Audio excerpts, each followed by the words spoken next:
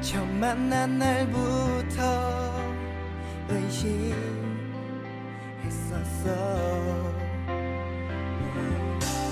두 번째 만난 날에 확신이 들었지.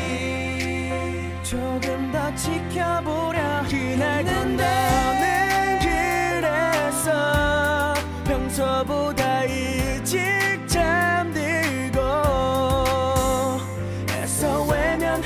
heaven.